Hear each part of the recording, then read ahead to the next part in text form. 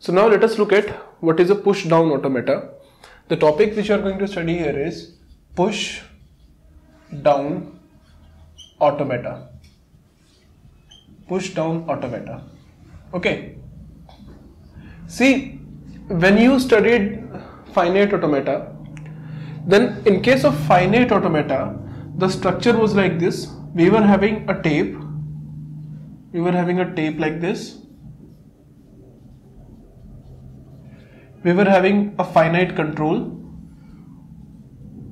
and read write head and a finite memory. This memory is finite. Finite memory. Okay.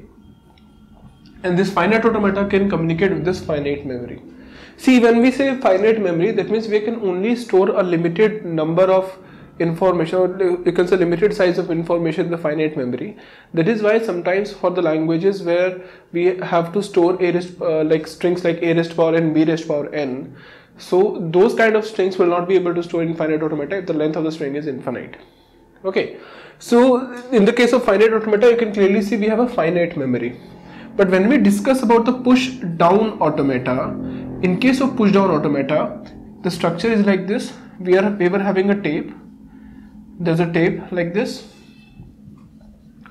There's a finite control. There's a finite control. And here we are going to use a stack. We are going to use a stack. And in the bottom of the stack we are going to have a stack alphabet which is assumed z naught. Okay and we load our strings onto the tape. For example here also we load for a a b b here also we can load the strings on the finite control and so on. Right? So what we can do is by reading a string or you can say by reading an alphabet either we can store that alphabet in the stack or we, we may not choose to store that alphabet onto the stack. And that decision we can take by looking at the alphabet and the top of the stack. That is what is the element which is present in the top of the stack now this kind of machine is called as a push down automata. So therefore if you can, if you see what is the formal definition of push down automata, then push down automata can be written like this. A push down automata can be represented by Q summation Q naught, uh, Q naught and we have delta and uh, Z naught which is the stack alphabet. So whatever the alphabet which is present on the top of the stack we have set of final state and we have tau. Okay so this is representing a push down automata. Now in this case of push down automata again the same thing. Q is representing set of states which is a non-empty set because if the set of states uh, is empty then obviously it is nothing right? So uh, the set of states will be non-empty set. We'll be having summation which is a set of input alphabet which is again non-empty. We'll be having q naught which is representing the initial state. The initial state. Will be having z naught which is representing the stack or you can say uh, bottom of the stack. This will be representing bottom of stack.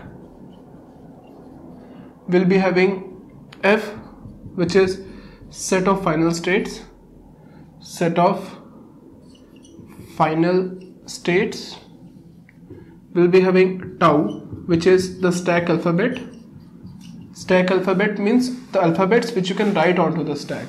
For example here we can have z naught we can have a we can have b. So what are the alphabets bits you can write onto the stack? That is called a stack alphabet. And there's something called as transition function. We'll be having something called as delta which is transition function transition function. Now this transition function varies from automata to automata. For example we can have a finite automata. For finite automata I have shown you what is the transition function. For uh, an NFA that is non-deterministic finite automata and DFA deterministic finite automata there's a change in the transition function right? So here in this case of stacks again there is a change in the transition function.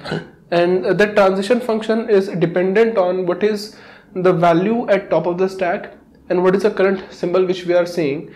And by looking at that current symbol we can go to any certain state and we can write something onto the stack.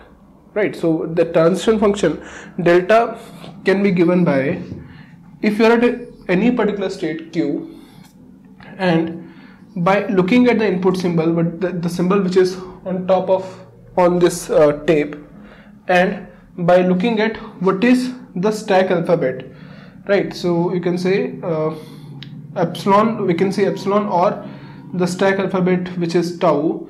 We can go to any state from q and we can write anything onto the stack right? And here it is closure of tau star right? So that means if there are three symbols in tau for example here in this case let, let, let us assume that we are going to write three symbols onto the stack. That is z naught a and b therefore tau here in this case can be written as uh, it is z naught small a and small b. Right. So uh, th that means we can take a Kleene closure of this. Right. So we can we can go to one uh, we can write one symbol onto the stack or we can write more than one symbol onto the stack. Okay. And then if we discuss about uh, this delta function in case of non-deterministic PDA that is non-deterministic push down automata see there are two types of push down automata either we can discuss about deterministic push down automata or we can discuss about non-deterministic push down automata so both combined are called as push down automata and here in case of deterministic and non-deterministic push down automata non-deterministic push down automata is more powerful than deterministic push down automata because we cannot for for example because if we can give uh, a non-deterministic push down automata for some languages then we may not be able to give a deterministic push down automata for those languages. Okay so here i'm saying that the delta function is very varies varies from deterministic push down automata to non-deterministic push down automata. And this it is varying according to the number of states which we can go so in case of non-deterministic push down automata delta function can be written as q cross summation union epsilon cross tau can take us to 2 raised to power q cross delta star or say we can say tau star states. 2 raised to power uh, q cross tau star states. So this is in case of non-deterministic pushdown automata okay so let me show the, uh, this uh, push down automata with an example and then I'll again come back to the same uh, definition and I'll show you how this definition works in case of uh, push down automatas. Okay